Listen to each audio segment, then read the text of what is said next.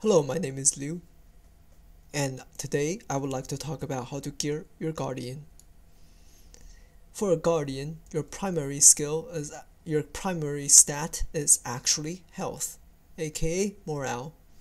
Sometimes vitality is better, sometimes max morale is better. For this update, when at the level 115 cap, vitality is better than morale, which is why I have vitality essences slotted nearly everywhere. Your primary focus is to get maximum mitigation for T2 and also high morale. Your block parry evade will be your next focus. If your morale is already very high, you have high mitigation, then just get some BPE. You can also get some finesse for fights where your finesse matter. For example, in the fight Abyss of Mordath T2 in the second boss, Sagrog, you are the only person who's removing corruptions on on the armors. So you need to have high finesse, at least some finesse, not very high, but at least some finesse in order to use your sting to remove corruption. Right, so like I said, vitality, mitigation,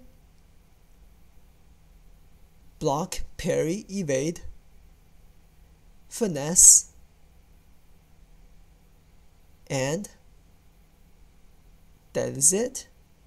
You do not need critical rating, you do not need mastery, you do not need resistance, you do you don't even need critical defense because your bolster and your heavy shield alone will provide much of your critical defense.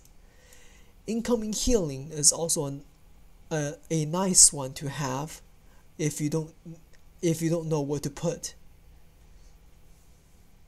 So, to summarize, vitality and health is the best to have, followed by mitigation.